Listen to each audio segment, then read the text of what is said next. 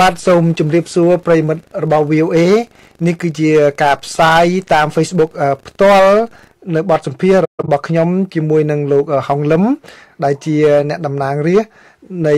រដ្ឋ Victoria ប្រទេសអូស្ត្រាលីថ្ងៃនេះយើងមានកិត្តិយសដោយលោកហុងលឹមលោកអញ្ជើញមកក្នុង studio របស់ VOA ក្នុងគណៈពេលដែលលោក ធ្វើដំណើរនៅសហរដ្ឋអាមេរិកនេះហើយមកដល់រដ្ឋធានី Washington ដើម្បីជួបជាមួយនឹង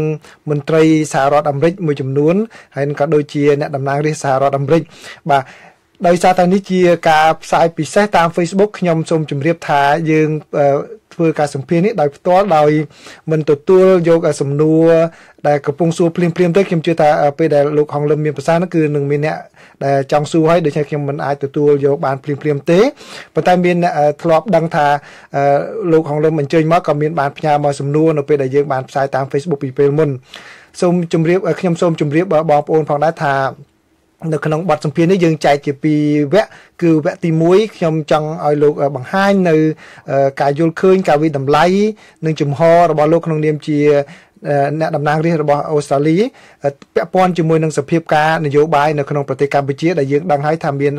សភាពតឹងតែងយ៉ាងខ្លាំងហើយនៅវគ្គទី2ដោយសារតែបងប្អូនជាច្រើនបានស្គាល់នឹងឮឈ្មោះលោកហុងលឹមក៏ប៉ុន្តែមានមនុស្សមិនជាច្រើនទេដែលស្គាល់នៅប្រវត្តិផ្ទាល់ខ្លួនរបស់លោកគឺថាតើលោកហុងលឹមអញ្ជើញមកពីខេត្តណាឬក៏មានកំណើតស្រុកណាហើយនឹងទៅធ្វើកិច្ចការអ្វីខ្លះនិងសម្រេចអ្វីខ្លះដូច្នេះខ្ញុំរីករាយមែនតើដែលលោកអនុញ្ញាតចែករំលែកនៅប្រវត្តិផ្ទាល់ខ្លួនរបស់លោកនិងផែនការអនាគតរបស់លោកជាមួយនឹងខ្ញុំក៏ដូចជាប្រិមិត្តទាំងអស់បាទដូច្នេះខ្ញុំសូមងាកមកសម្ភាសលោកហងលឹមទៅពេលនេះបាទសូមជម្រាបសួរលោកបាទជម្រាបសួរបាទសូមអរគុណណាស់ហើយសូមស្វាគមន៍ដែលអញ្ជើញមករដ្ឋធានី Washington ហើយនិងសហរដ្ឋអាមេរិកអឺលោកជាខ្មែរទី1ហើយដែលនៅក្រៅប្រទេស ដែលធ្វើដំណើរពីអូស្ត្រាលីមកសហរដ្ឋអាមេរិកហើយមិនមែនជាអ្នកតំណាងរាស្ត្រឬក៏ជាមន្ត្រីអីនៅប្រទេសខ្មែរប៉ុន្តែការទទួលស្វាគមន៍នៅរដ្ឋនានាតាមដែលខ្ញុំមើលហើយនឹងទទួលបានដំណឹងមកនោះគឺច្រើនមែនទែនមើលអ្នកខ្លះស្កាត់បើកឡានជាច្រើនម៉ោងហើយមកមកទទួលនឹងជួបដើម្បីស្ដាប់ប្រសាសន៍របស់លោកពាក់ព័ន្ធជាមួយនឹងសភាពការនយោបាយតែលោកមានអារម្មណ៍យ៉ាងម៉េចដែរចំពោះការស្វាគមន៍របស់សហគមន៍ខ្មែរនៅទីនេះបាទអឺខ្ញុំមានសេចក្តីរំភើបចិត្តខាងណាស់បាទហើយពិសេសឃើញនៅភាពសស័កសសាមនៅភាពទទួលស្វាគមន៍នៅភាពរាប់អានពីបងប្អូនយើង នឹងគឺធ្វើឲ្យយើងមានកម្លាំងចិត្តក្នុងការដែលថាពុះពួរពុះពៀរួបរวมគ្នាដើម្បីគិតគូរដោះស្រាយរឿងបញ្ហាជាតិយើងដែលកំពុងតែឆ្លងកាត់នៅសភាពការដ៏តឹងតែងឥឡូវនេះបាទបាទសភាពការតឹងតែងនៅក្នុងប្រទេសកម្ពុជារឿងនយោបាយដែលយើងដឹងហើយគឺលោកកឹមសុខាប្រធានគណៈបកសង្គ្រោះជាតិនឹងត្រូវគេចោទរដ្ឋាភិបាលចោទពីបទក្បត់ជាតិចាប់ដាក់ពន្ធនាគារហើយនឹងមន្ត្រីគណៈបកស ង្គ្រោះជាតិជាន់ខ្ពស់មួយចំនួនហ្នឹងគឺក៏ភៀសខ្លួនចេញពីប្រទេសកម្ពុជាដោយមិនអាចធ្វើសកម្មភាពបានតើលោកយល់យ៉ាងម៉េចដែរចំពោះការវិវត្តនយោបាយរបស់ប្រទេសកម្ពុជានៅពេលបច្ចុប្បន្ននេះបាទអឺយើងខ្ញុំបានឃើញបានលើបានដឹងពីការដែលគេចាប់ចងលោកកម្មសខាហ្នឹងហើយមានការរំភើបចិត្តវាហួសហួសចិត្តពីព្រោះថាតាមលក្ខណៈជាប្រពៃណីដែលខ្ញុំបានធ្លាប់ធ្វើជាសមាជិកសភា20 មួយឆ្នាំ22ឆ្នាំហើយហ្នឹងគឺថាវាមិនដែលមានរឿងអញ្ចឹងបាទពីព្រោះបុគ្គលជាសមាជិកសភាហ្នឹងគឺមានគេហៅថាអភ័យឯកសិទ្ធហើយមានការលេខគោរពមិនគេគោរពរបៀបថាអង្គក្រាបថ្វាយអង្គមរណេបណោនេះគោរពក្នុងទូនីតិមនុស្សនេះជាតំណាងឲ្យប្រជាពលរដ្ឋដែលគេបោះឆ្នោតឲ្យបាទយើងកុំភ្លេចថាគេជាតំណាងសម្លេងមនុស្សច្រើនលើសលប់ ទៅខាងគណៈបកមួយទៀតបានគេបានជាប់ជាសមាជិកសភា បានជាប់ជាគេថាប្រធានរបស់គណៈបកបានហើយប្រធានគណៈបកមកតាមតែគេថាប្រពៃណីរបស់ពួកយើងខ្ញុំដែលមានរបបជាអឺការគ្រប់គ្រងរបៀបអង់គ្លេសហ្នឹងគេហៅថា Westminster System ហ្នឹងបាទ British System ហ្នឹងគឺថាអឺប្រធានរបស់គណៈបព្វឆាំងគឺជាអនាគតនាយករដ្ឋមន្ត្រី ឬក៏ពាក្យអង់គ្លេសច្បាស់ជាងនឹងទៀតគឺថា alternative នាយករដ្ឋមន្ត្រីគឺថាជានាយករដ្ឋមន្ត្រីដែលកំពុងតែត្រៀមខ្លួនចាំមកកាន់តំណែងគណៈគណៈបកគេឈ្នះហើយដល់យើងមកលេងចាប់គាត់ដែលបៃខ្នោះអីទាំងយប់អីរបៀបដូចជា Gestapo របៀបកុម្មុយនីសផ្ដាច់ការ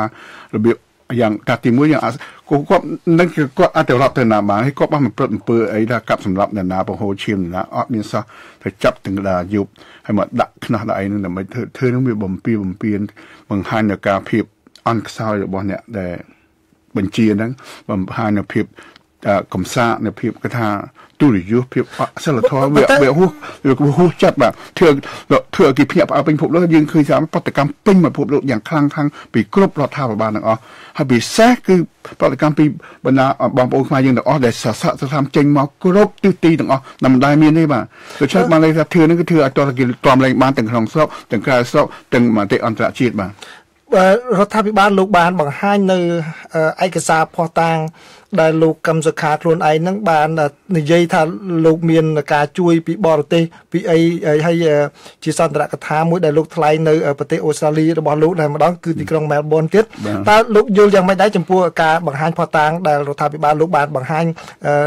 ពាក់ព័ន្ធជាមួយនឹងការចោទប្រកាន់ហ្នឹងបាទការបង្ហាញផុសតាងដែលយើងខ្ញុំទាំងអស់ខ្ញុំបានដឹងបានឮពីព្រោះយើងបានស្ដាប់ឮប្រសាសន៍គាត់ពុះគាត់ធ្វើហ្នឹងនៅទីក្រុងមែលប៊នយើងខ្ញុំធ្វើក្នុងវត្តហ្នឹងបាទគាត់មានដូចថានិយាយចង់បួសទេគាត់មានតំណែងល្អក្នុងកិច្ចការគឺថារៀបចំពង្រឹងជំហរការចេះដឹងរបស់គណៈបកអឺសង្គ្រោះជាតិនឹងអានឹងគឺជារឿងធម្មតាក្នុងការទំនាក់ទំនងមកជាមួយគណៈបកមួយមួយក្នុងប្រទេសដែលថាកំពុងតែធ្វើការអភិវឌ្ឍខាងផ្នែកលទ្ធិប្រជាធិបតេយ្យហ្នឹងហាត់រៀនប្រជាធិបតេយ្យហ្នឹងគឺចាគឺតែតែមានការតាក់ទងជាមួយនឹងអង្គការបរទេសពិសេសហើយក្នុងករណីនេះគឺជាអង្គការបរទេសគឺថាខាងខាងសង្គមស៊ីវិលផងហើយចាប់តែចប់ប្រកាន់រហូតដល់សហរដ្ឋាភិបាលសហរដ្ឋអាមេរិកគឺថា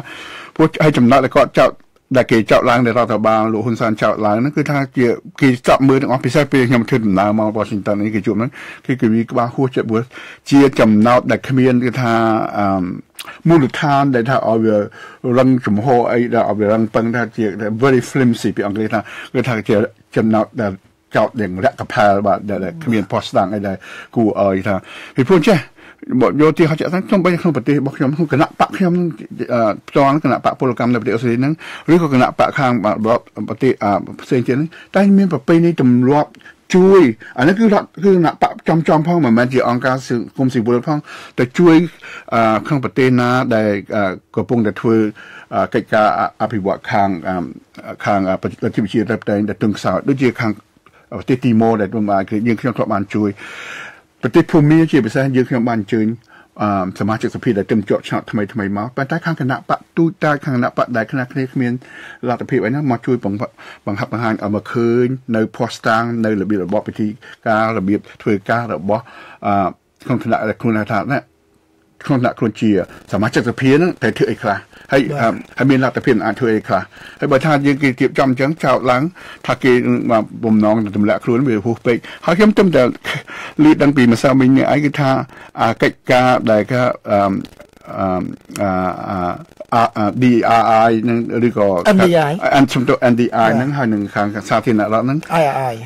IRI ហ្នឹងគឺមិនមែនតែក្នុងស្រុកខ្មែរទេគេទៅធ្វើនៅស្រុកលាវគេធ្វើនៅស្រុកវៀតណាមរាប់សិបឆ្នាំមកហើយហើយដូចរបស់យើងទៅចាត់ថាអូដល់តែពួកនឹងទៅធ្វើហ្នឹងគឺចាំតែពងអីធ្វើបដិវត្តពណ៌អីហ្នឹងដើម្បីចង់ទម្លាក់រដ្ឋាភិបាលថៃអសំទោសលាវឬក៏វៀតណាមគឺគេគេគេសោយគេហួសចិត្តពួកគេធ្វើហ្នឹងទៅដើម្បីជួយហើយយើងមកចោតគេពៀនទ្រុកពៀនត្រាំងដោយយ៉ាងគេថា អត់មានជាមូលដ្ឋានអីច្បាស់លាស់ដែលមិនគួរតែគេជឿមិនគួរគេគេសោចគេមើលងាយចំអកឋានទៀតបាទបាទលោកមានភាសាមុននេះបន្តិចគឺថាមានប្រតិកម្មជាច្រើននៅទូទាំងពិភពលោកយើងឃើញមានប្រតិកម្មអឺ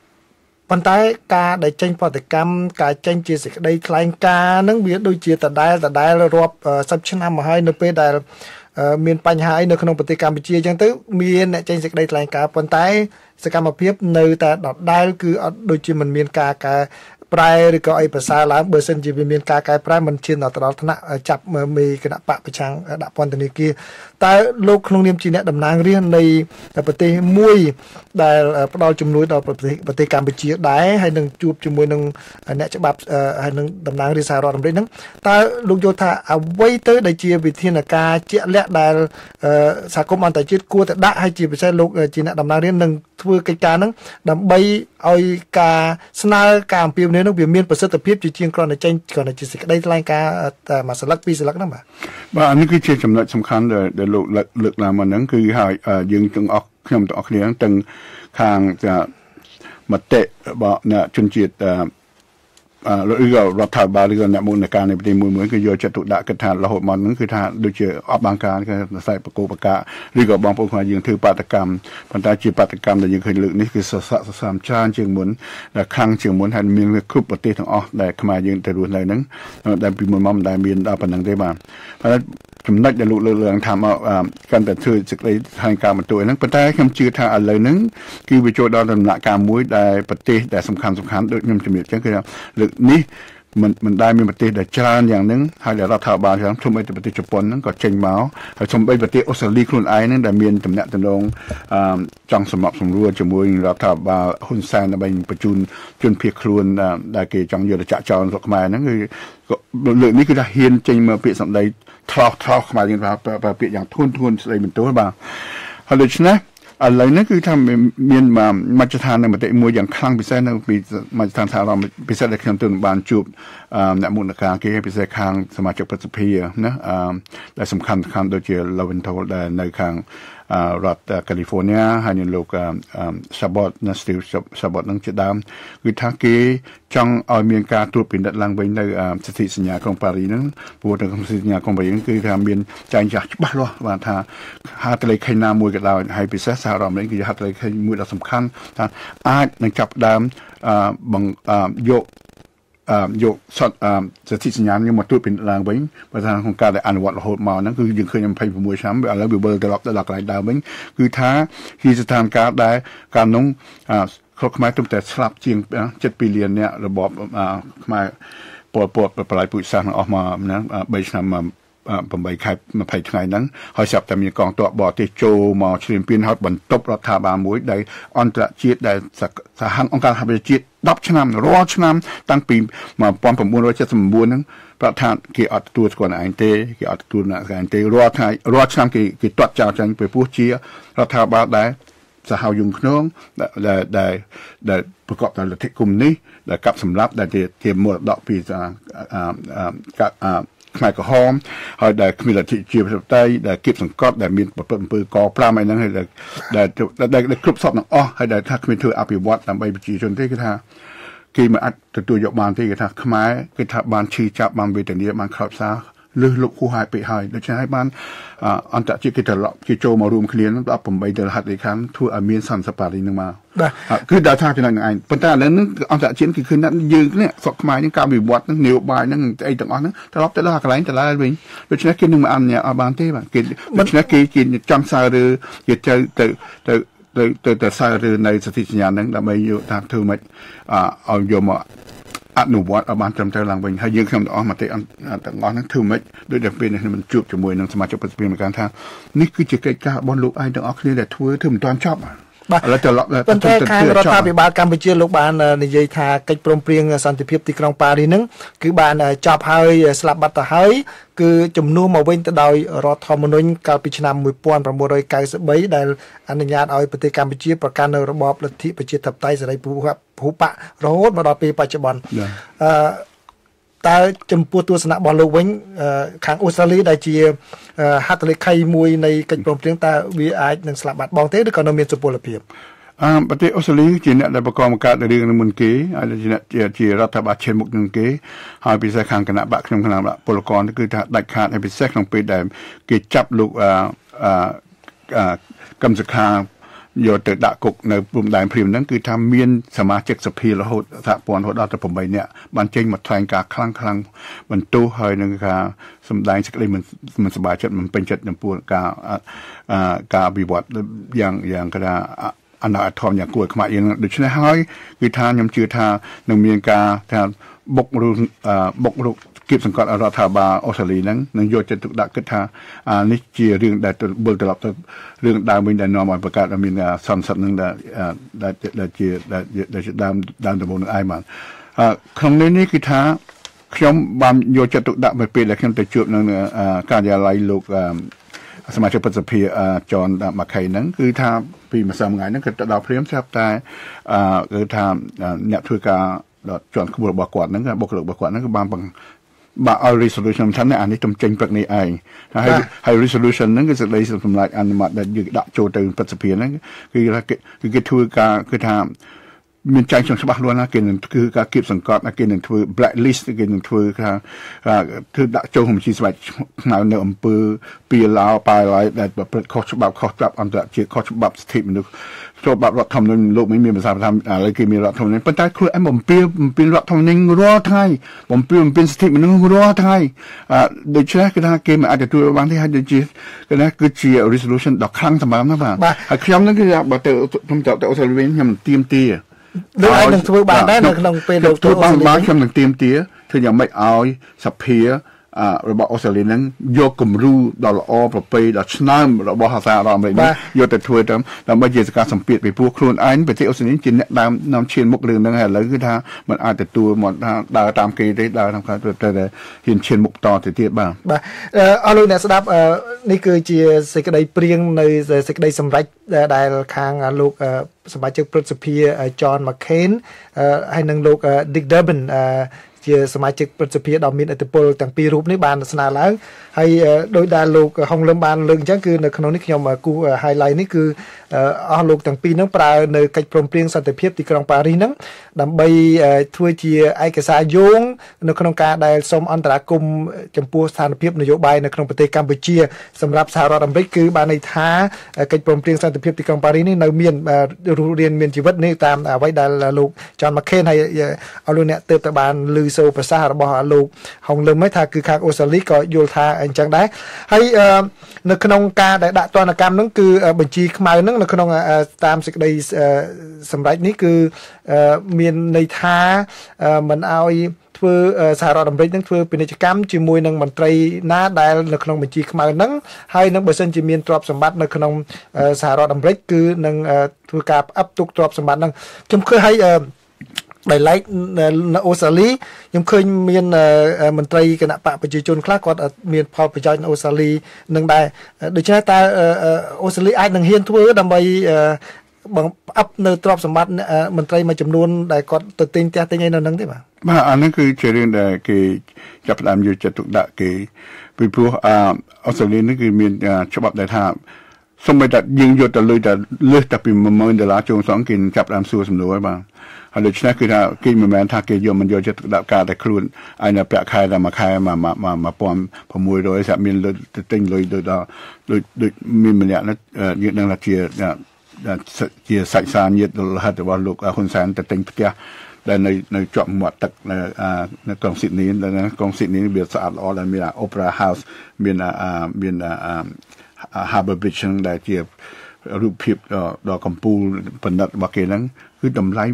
11លានដុល្លារនិយាយគិតមើលតើគ្មានខ្មែរណាមានលុយដល់11លានដុល្លារសល់តែទិញចាស់ដូច្នេះគេនឹងស៊ើបអង្កេតគេនឹងសាកសួរហើយទាំងអស់ហ្នឹងយើងអាចថាមានមានភាពធ្វើការគៀបសង្កត់រដ្ឋបាលតែតែហ៊ានសាកសួរហើយបើសិនជាគេអាចធ្វើអាកាំងចរាចរ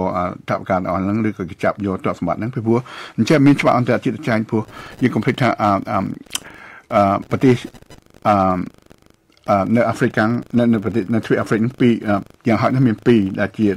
សុទ្ធឋានៈរដ្ឋប្រធានាធិបតីឬក៏កូនរបស់ប្រធានាធិបតីដែលមានលុយនៅប្រទេសបារាំងនៅប្រទេសអង់គ្លេសគេចាប់មានលុយរាប់លានគេចាប់ហើយគេបង្ខំរឹបអូសយកលុយហ្នឹងដើម្បីបញ្ជូនទៅឲ្យរដ្ឋនៃប្រទេសរបស់ខ្លួនដើមវិញដើម្បីពួកគេនឹងទៅលេងជាលុយដែល បានដោយទុច្ចរិតពុករលួយដែលគៀបសង្កត់គេយកមកបូមខ្លាញ់បាញ់ពេញប្រជាខ្លួនឯងយកមកធ្វើមានធ្វើបាននៅនៅបរទេសបានមានច្បាប់អន្តរជាតិដែលគេអនុញ្ញាតឲ្យធ្វើអញ្ចឹងបានដូច្នេះយើងនឹងនឹងទៀមទាឲ្យមានការអភិវឌ្ឍអនុអនុវត្តនឹងហើយនឹងការស៊ើបអង្កេតនឹងបាទបាទខ្ញុំបានស្ដាប់វីដេអូឃ្លីបរបស់លោកក្នុងការជួបជាមួយនឹងសហគមន៍មួយចំនួននៅក្នុងសហរដ្ឋអាមេរិកហ្នឹងគឺខ្ញុំចាប់អារម្មណ៍ពាក្យមួយដែលលោកប្រើពាក្យថារបបលោកហ៊ុនសែនហួសពីពុករលួយ មកដល់ពុករលីហើយ បាទហើយលោកបានលើកឡើងនៅបញ្ហាមួយចំនួនតើលោកផ្អែកទៅលើកត្តាអ្វីដែលទៅធ្វើការវិតម្លៃចំពោះស្ថានភាពនៅក្នុងប្រទេសកម្ពុជាទៅលើហើយរហូតដល់មានការសន្និដ្ឋានបែបនេះណាបាទពុកពុករលីងគឺថាយើងបើយើងយកចំខ្ញុំចាំមិនភ្លេចនៅការដែលប្រៀបធៀបរបស់លោក កែមលៃពេលដែលគាត់ទៅទៅប្រទេសអូស្ត្រាលីហ្នឹងមួយខែនៅជាមួយយើងខ្ញុំនឹងដើម្បីធ្វើការសាបជាមួយគ្នាឬក៏ប្រាប់ប្រូយោបល់ក្នុងរឿងបញ្ហាសុខទេយើងគាត់ប្រៀបធៀបពីប្រទេសទាំង3កាខ្មែរថៃវៀតណាមនៅនៅនៅលើនៅលើគេថាបញ្ហាពុករលួយគាត់ថាអាសុកយួននោះវាសុកកុំនេះដែលពុករលួយវាលួចលាក់ដូច្នេះវាហុចលុយក្រោមតុធ្វើតាមក្រោមតុ under the table ពាក្យគាត់ណាបាទបាទ ចំណែកឯប្រទេសថៃវិញនោះវាសុកសេរី វាពុករលួយប៉ុន្តែវាធ្វើដល់ចំហវាដូរហុចដូចហុចអីហ្នឹងលើលើតុមកមិនល្មមវាថាអាចចរចាគ្នាបានទទួលបានប៉ុន្តែសុកខ្មែរនេះគឺមិនទាំងមិនធ្វើតាមលើមិនធ្វើតាមក្រោមយកទាំងអាតុកហ្នឹងទៀតគឺថាគឺថាកំកំតិចចោលគឺធ្វើឲ្យខ្ទេចហ្មងគឺថាអានេះគឺគាត់បង្ហាញជាថាអាពីអង់គ្លេសថា analogy ទៅបង្ហាញតើយើងវាធ្លាក់ដល់កម្រិតណាបាទបាទ ហើយបើលោកចង់ឲ្យទីហោះជាក់ស្ដែងយើងមើលតែការសិក្សា ជាង30ឆ្នាំហើយរហូតមកទល់នឹងពេលនេះកូនខ្មែររៀនតែកន្លះថ្ងៃទេបាទហេតុអីបានយើងធ្លាក់ខ្លួនដល់ហ្នឹងហើយតែយើងសង្ឃឹមថាយុវជនយើងមានលទ្ធភាពហ្នឹងចេញមកទៅប្រកួតប្រជែងជាមួយណាប្រទេសអាស៊ានសំខាន់ដែលឥឡូវគេបាក់ជួយចំហថាប្រឡូកដណ្ដើមទីផ្សារគ្នាដល់យើងដល់កូនកូនយើងចេញកូនកូនកូនចៅយើងចេញមកហ្នឹងរៀនតែកន្លះថ្ងៃនេះវាជាអីបាទតែធ្វើខ្ញុំគេនៅស្រុកថៃចំណាក់ស្រុក បានដីថាយើងដែលជារដ្ឋាភិបាលគ្មានលទ្ធភាពគ្មានមធ្យោបាយគ្មានអសមត្ថភាពក្នុងការទាញយកវិនិយោគដើម្បីឲ្យគេមកណារកស៊ីឬបង្កើតការងារហ្នឹងក្រៅតែពីអ្នកដែលយើងអឺដីកាត់នោះដែលមានដល់70ម៉ឺននាក់វិញដីកាត់ដល់ស្អីទៅប្រាក់ខែយើងហ្នឹងគឺថាថោកជាងគេបានអាហ្នឹងដែលជាគ្រោះថ្នាក់ហើយទៅធ្វើ ធ្វើដែលកើតទៅធ្វើខ្ញុំគេនៅស្រុកខ្មែរនៅស្រុកថៃយ៉ាងហ្នឹងអា dislocation អាពាក្យ social dislocation ការបាក់បែកក្នុងសង្គមក្នុងគ្រួសារមួយមួយហ្នឹងយើងទៅដល់ភូមិស្រុកហ្នឹងគាត់និយាយយ៉ាងលោកលោកកាមលេគេថានឹងម្ដងពីយប់ហ្នឹងពិសេសជាប់ព្រំដែនថៃចូលដល់ភូមិមួយមួយឃើញមនុស្សចាស់ដែលមានកូនខ្ចីព្រោះព្រោះអាកូនកូននេះឪពុកម្ដាយវាទៅធ្វើខ្ញុំគេអស់នៅស្រុកហ្នឹងហើយដល់គាត់ហ្នឹងគាត់ ហើយលោកកែមលេពិសេសគាត់មកឃើញសេវាដែលគេបំរើមនុស្សចាស់នៅស្រុកអូស្ត្រាលីអូស្ត្រាលីប្រទេសដែលជឿនលឿនហើយមនុស្សទាំងអស់នេះសិតតែបានធ្វើពលកម្មចិញ្ចឹមកូនចិញ្ចឹមចៅធ្វើការបំរើណាអស់មួយជីវិតហើយហើយឥឡូវមកធ្វើការណាបំរើកូនចំនួនកូនទៀតហើយហើយដល់ហើយវាវាដល់ចឹងទៅអាការបែកបាក់គ្នាហ្នឹងហើយអូលោកសុកអេសានហ្នឹងក៏និយាយថាអូទៅសម្បំណាបានលុយមកច្រើនណាប៉ុន្តែលុយនេះលុយចាយនៅស្រុកថៃយើងអត់និយាយយើងធ្វើអត់សេដ្ឋកិច្ចគេកាន់តែលឿនទៅហើយទៀតបាទបាទ លោកដូចជាចាប់អារម្មណ៍សម្ដីរបស់លោកកែមលីច្រើនណាដូចជា ពេលដែលលោកចុះតាមរដ្ឋមួយចំនួននៅសហរដ្ឋអាមេរិកនេះក៏លោកប្រើអ្វីដែលជាភាសារបស់លោកកែមលីឧទាហរណ៍ដូចជាលោកថាជូតទឹកភ្នែកហើយបន្តទៅមុខទៀតហើយនឹងពុករលួយពុករលាយតាមលើតុកយកទាំងតុកអីហ្នឹងអស់ហ្នឹងហើយនេះបានជាទស្សនៈលោកកែមលីហ្នឹងមកដកក្នុងអារម្មណ៍លោកខ្លាំងណាស់ពីព្រោះរហូតមកហ្នឹងដែលយើងដែលជាអ្នកដែលថាថាយកចិត្តទុកដាក់គិតគូររឿងសុខទេហ្នឹងយើងមិនដែលឃើញមនុស្សណាបុគ្គលណាឬបណ្ឌិតណាដែលគេថាមានលក្ខណៈ សម្បទាបញ្ញាបាធីរបៀបដូចគាត់ទេបាទគាត់គឺជាមនុស្សដែលយើងថាជាកម្ពុជាខួរក្បាលមួយដ៏ឆ្នើមបំផុតនៅប្រទេសខ្មែរយើងបាទហើយដែលឆ្នើមត្រង់ន័យថាគាត់មិនដែលនិយាយរបៀបដូចថាចំណអកលក់លើនឹងក្នុងពេលដែលគាត់ធ្វើវិភាគគាត់មិនដែលនិយាយបន្ទោសឬក៏ជាអសរួយទេបាទគាត់ការវិភាគរបស់គាត់ប្រកបដោយគាត់ថាស្ថិតលើមូលដ្ឋានគឺថាវិទ្យាសាស្ត្រហើយយ៉ាងសមរម្យហើយខ្ញុំឲ្យទីហោមួយចាក់ស្ដែងគាត់បញ្យល់ពីហេតុអីបានមានការអឺថា ទៀមទាធ្វើបាតកម្មពេញណាទីក្រុងតម្លងប្រាក់ខែក្មេងៗអ្នកធ្វើវិកម្មកររោងចក្រកាត់ដេរបាទហើយមើលខ្ញុំមើលរឿងនេះឃើញតែចៃដន្យទេព្រោះគាត់ធ្វើនឹងតាំងតែមុនមានរឿងសម្រាប់នៅវិញសែនគាត់ថាណែបញ្ហាកាន់តែខ្លាំងឡើងហ่ะព្រោះក្មេងៗហ្នឹងដូចយើងដឹងយើងនៅស្រុកអូស្ត្រាលីឬក៏ស្រុកអាមេរិកកាំងនេះកាលណាអា CPI គឺថ្លៃទំនិញវាឡើងថ្លៃ inflation គឺប្រាក់ខែយើងគឺឡើងជា ផ្សាយប្រវត្តិច្បាប់ចែងយ៉ាងចឹងគឺថាការព្រមព្រៀងរវាងគណៈសហកម្មសហជីពសហជីពនិងអ្នកកម្មករគឺអញ្ចឹងហ្មងជំសុខស៊ីវិល័យប៉ុន្តែចំពោះក្មេងៗទាំងអស់យើងកុំភ្លេចចាំក្មេងៗស្រីៗទាំងអស់ជាង70ម៉ឺននាក់ជាង6ឆ្នាំលោកក្មួយ ដែលមិនដែលឡើងប្រាក់ខែនេះសោះចំណែកអាថ្លៃភ្លើងស្រុកខ្មែរយើងគឺថ្លៃភ្លើងតែថ្ងៃនេះរដ្ឋាភិបាលលោកបានតម្លើងទៅដល់170ដុល្លារហើយតើលោកពេញចិត្តទេសប្បាយចិត្តទេខ្ញុំ ជឿថាដែលឡើងនេះក៏នៅមិនទាន់បានឡើងទេប៉ុន្តែ complete មានបញ្ហាមួយចោលមួយទៀតមនុស្សជាង70ម៉ឺននាក់ហ្នឹងគឺថាសប្តាហ៍គ្នាធ្វើអីគឺ day true true true តើគ្នាដេបានប្រហែលឆ្នាំទៀតតើគ្នាតែដេមួយជីវិតអញ្ចឹងទេ ព្រោះយើងភ្លេចថាស្រុកចិនឥឡូវហ្នឹងវា graduate វាថាវាឡើងកម្រិតអភិវឌ្ឍអ្នកធ្វើការកម្មករវាឡើងដល់កម្រិតមួយទៀតដែលក្នុងមួយឆ្នាំសំទោសក្នុងមួយខែវាប្រាក់ខែវា600ដុល្លារហើយយើងនឹងឲ្យគ្នាដេនឹងដេទំថាឥឡូវហ្នឹងដឹងហើយ160ដុល្លារដែលចង់ឲ្យឡើងនេះគឺវាហួសរយៈពេលប្រហែលឆ្នាំហ្នឹងទៅត្រូវឡើងប៉ុន្មានហើយបើមិនយើងមិនយកលុយហ្នឹងតាមទៅធ្វើវិនិយោគដើម្បីឲ្យមានចំណេះការងារចេះដឹងក្នុងរោងចក្រហ្នឹងឲ្យគ្នាធ្វើអខោអោដែល more complex ដែលថាមានលក្ខណៈពិបាកដែលមានលក្ខណៈដែលថាស៊ីថៃបានច្រើនជាងហ្នឹងតែគ្នានឹងនៅតែ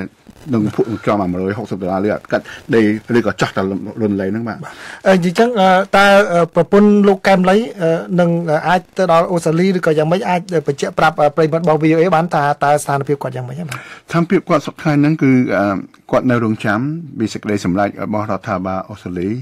យើងបានធ្វើប្រឹងប្រែងគ្រប់អស់មធ្យោបាយទាំងអស់ដែលតាមយើងអាចធ្វើទៅបានដោយការដាក់ពាក្យធានាគាត់ហើយខាង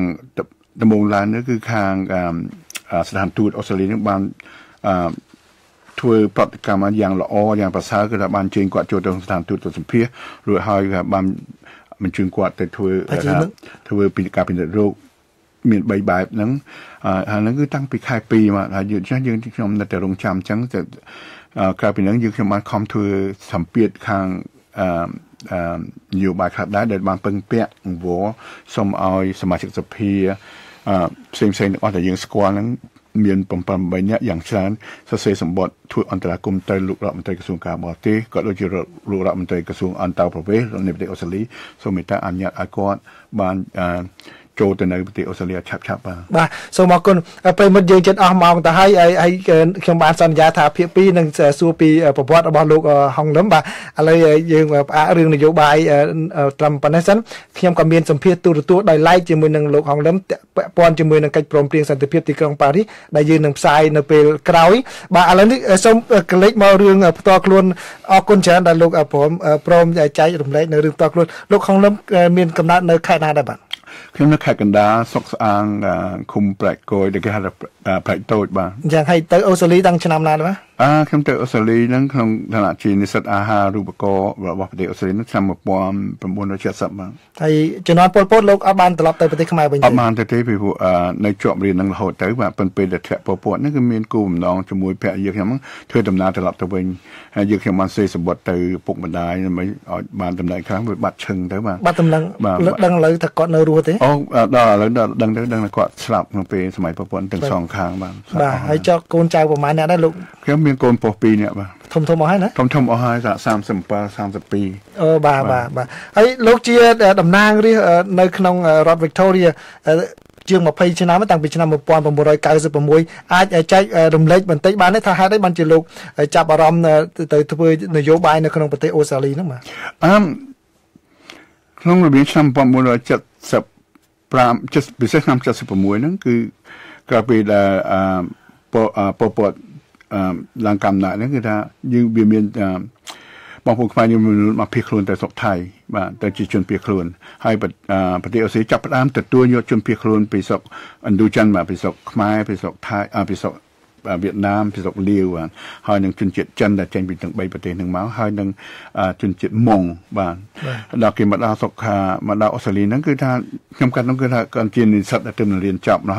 មានមានគឺថាយើងចង់មិនចង់គឺថាទៅតែគេស្ថិតនៅក្នុងស្ថានភាពដែលត្រូវតែជួយបងប្អូនយើងដើម្បីឲ្យធ្វើការតាំងទីលំនៅឲ្យបានសមរម្យឲ្យបានថ្លៃថ្នូរដូចគេពីព្រោះយើងកុំភ្លេចបងប្អូនយើងដែលចេញមកសុទ្ធជាអ្នកនេសាទអ្នកស្រែបណ្ដាស្គាល់ថាក្រុងដ៏ធំទំនើបសុទ្ធប្រកបដោយគេថាពាក្យអង់គ្លេសយើងថា metropolis សម្រាប់ណាហើយដូចយើងទៅស្រាប់នៅយើងនៅស្រុកហ្នឹងយើងយើងមានផ្ទះខ្លួនឯងធំបើផ្ទះខ្ទមក៏ដោយប៉ុន្តែមកនៅស្រុកនេះយើងមានផ្ទះខ្លួនឯងណាយើងត្រូវជួលផ្ទះគេហើយជួនកាលជួលផ្ទះបរតជួលផ្ទះគេថាឯកជនបបគាត់អត់ដឹងពីរបបទេដូច្នេះទៅជួយគាត់តាំងក្នុងការរកផ្ទះសម្បែងរកអឺការងារធ្វើរករៀនភាសាអង់គ្លេសហើយគ្រប់ទាំងអស់ទាំងការតាំងទៅតាំងទីលំនៅហ្នឹងបាទដូច្នេះហើយ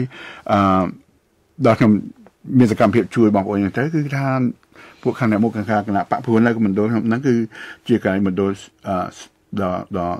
សវត្ថភាពដែលជាកន្លែងជំរុករបស់គណៈបកខ្ញុំគណៈបកខាងពលករហ្នឹងដែលគណៈបក Labor Party Australian Labor Party ហ្នឹងដូច្នេះគេគេគេគេមានគោលបំណងថាធ្វើយ៉ាងម៉េចឲ្យមានតំណាងរាស្ត្រម្នាក់ដែលជាកញ្ចក់ឆោះបញ្ចាំងថាអ្នកណាជនជាតិដែល ព្រោះជនជាតិភាគច្រើននៅលើនោះមិនមែនជាជនជាតិអង់គ្លេសសាក់សងស្បែកសអាស៊ីបាទមិនភាគច្រើនគឺអាស៊ីកន្លែងមណ្ឌលខ្ញុំហ្នឹងជាមណ្ឌលដែលហៅហៅថាពហុវប្បធម៌បំផុតដែរបាទនៅក្នុងហ្នឹងគឺមានដល់58%ដែលមិនមែនជនជាតិស្បែកសបាទហើយលោកកាន់តំណែង20ឆ្នាំជាងតើនឹងបន្តទៅដល់ពេលណាដែរបាទអឺកម្មតំណែង20ឆ្នាំជាងវាយូរណាស់បាទខ្ញុំវាដល់រយៈពេលមួយដែលខ្ញុំគិតថាខ្ញុំត្រូវតែចុះអឺ ចុះចេញពីតំណែងខ្ញុំបានលាលែងពីតំណែងខ្ញុំបានជំរាបទៅគណៈបកខ្ញុំបានដាក់ពាក្យលាលែងជាផ្លូវការហើយដូច្នេះគឺ ដំណឹងជាដំណឹងជាផ្លូវការខ្ញុំអត់មានចូលឈ្មោះក្នុងការបោះឆ្នោតនៅខែទី11ឆ្នាំក្រោយតទៅទៀតទេបាទគឺជាអាណត្តិចុងក្រោយខ្ញុំអ្នកណានឹងមកចំនួនលោកវិញណាបាទសំណួរដែលលោកលើកឡើងសំខាន់ណាស់ពីព្រោះតែជាមួយគ្នានឹងយើងខ្ញុំក៏ប្រុងប្រយ័ត្នដែរគិតថាធ្វើយ៉ាងម៉េចឲ្យមានទំពាំងស្នងរស័យណាធ្វើយ៉ាងម៉េចឲ្យមានខ្មែរយើងម្នាក់ទៀតដែលអាចឡើងមកជំនួសយើងខ្ញុំខ្ញុំបានហើយដូច្នេះយើងបានប្រុងប្រៀបអានឹងគឺថាជើងព្រួលនឹងតាំងពីយូរណាស់ហើយយើងខ្លាចពីព្រោះ អឺមណ្ឌលមកខ្ញុំនេះគឺចាត់ទុកដូចខ្ញុំជំនាញជាមណ្ឌលដែលប្រកបដោយសុវត្ថិភាពបំផុតគឺគណៈបកខ្ញុំគឺ គឺខ្លាំងណាស់មកកម្មដូច្នេះទៅយើងដាក់ថាឆ្កែស្មាស្មាព្រាមនេះគឺដាក់គង់តែជាប់នៅក្នុងអ្នកស្រុកនៅនឹងគឺអ្នកបោះឆ្នោតនឹងគេនឹងបោះឲ្យគណៈបកខ្ញុំដូច្នេះយើងដាក់នៅណាហ្នឹងគឺអ្នកនឹងជាប់ជាជាប់ហើយបាទអាចហើយតាមអ្នកគេរកបានហ្នឹងបាទអឺអ្នកដែលរកបានឥឡូវនេះកំពុងចូលឈ្មោះហើយតែខ្ញុំបានទទួលដំណឹងពីម្សិលមិញនឹងឯងគឺថាឥឡូវច្បាស់ប្រកាសហើយអឺថាគេគាត់នឹងនឹងទៅជា អ្នកឈរឈ្មោះតំណាងឲ្យគណៈបកបន្តពីខ្ញុំ គឺលោកតាក់មិញហៀងដែលជាខ្មែរយើងដែរបាទខ្មែរយើងអញ្ចឹងបាទដូចខ្ញុំអញ្ចឹងហើយគាត់តែជាមេធាវីហើយគាត់ជាមានសង្ឃថាគាត់អាចមានប្រជាប្រិយភាពច្រើនជាងខ្ញុំផងគាត់ជួយធ្វើកិច្ចការក្នុងសង្គមខាងណាស់ហើយគាត់ជាក្មេងហើយប្រកបដោយបញ្ញាបាធីដ៏គួរថាគណៈបកគេទទួលយកបានហើយគេគោរពនៃសេចសម្រាប់ចិត្តរបស់យើងខ្ញុំអស់គ្នាហ្នឹងដូច្នេះគាត់នឹងទៅជាបេក្ខជនតំណាងហើយជឿថានឹងជាប់ហើយដូចខ្ញុំនិយាយថាគាត់ជាកន្លែងដែលសុវត្ថិភាពដែលគាត់នឹងជាប់ ដល់ពេលលោកចូលនិវត្តន៍ចឹងទៅតើលោកនឹងធ្វើកិច្ចការអីតើលោកអាចនឹងជួយសហគមន៍ខ្មែរទេភាគអឺហេតុដល់លឹះលុបដែលដែលដែលដាច់ខាត់ដែលនាំឲ្យខ្ញុំលាចាក់ពីតំណែងជាជាតំណាងរាស្ត្រគឺមកពីខ្ញុំយល់ថា ការដែលយើងធ្វើ ធ្វើកិច្ចការចំណាំងរៀនជាកិច្ចការដែលពមៀនញឹកខ្លាំងណាស់បាទគឺថាសឹងថា24ម៉ោង7ថ្ងៃក៏មិនជប់ឈរបាទអ្នកខ្លះយល់ថាកិច្ចការចំណាំងរៀនគឺដើម្បីទៅធ្វើមានកិត្តិយសឬក៏ដើររកស៊ីអីថាមិននៅស្រុកនោះគឺថាគឺពីអង់គ្លេសហៅថា very intense បាទហើយដល់ចឹងទៅខ្ញុំយល់ថាតាំងតែពីលោកកាមលីគាត់បានជួយមកនៅក្នុងស្រុកខ្ញុំហ្នឹងមួយខែជាមួយគ្នាហ្នឹងហើយដល់គាត់ស្រាប់ហ្នឹងគឺថាខ្ញុំវាខ្លុកក្ដួលខ្ញុំខ្ញុំសឹងថាលែងធ្វើការកើតបាទហើយខ្ញុំនឹកថា ខ្ញុំហាក់ដូចជាមិនបានយកចិត្តទុកដាក់គិតគូរពីរឿងសុខទេសណាកំណើតរបស់ខ្ញុំបាទដូច្នេះអញ្ចឹងទៅគឺខ្ញុំថាត្រូវតែលាលែងដើម្បីមានពេលដើម្បីយកចិត្តទុកដាក់គិតគូរពីរឿងសុខទេសគិតគូរសង្គមខ្មែរមិនថាពេញប្រទេសអូស្ត្រាលីទាំងមូលទេគឺថាពេញមកសកលលោកដែលយើងហាក់ដូចជាមិនទាន់បានឲ្យថាបើធ្វើមិនឲ្យបានរមួត ណាចូលគ្នាអញ្ចឹងបានន័យថាលោកអាចមើលឃើញថាទួលនីតិរបស់លោកដើម្បីជួយពង្រួមសហគមន៍ខ្មែរដែលនៅអូស្ត្រាលីនៅអាមេរិកនៅបារាំងអីហ្នឹងដែលរួមគ្នាធ្វើកិច្ចការជួយពីខាងក្រៅបាទខ្ញុំនិយាយថាយើងអាចមានទួលនីតិព្រោះយើងមិនទាន់បានរៀបចំបានស្រួលទេបាទខ្ញុំជឿថាបើយើងរៀបចំស្រួល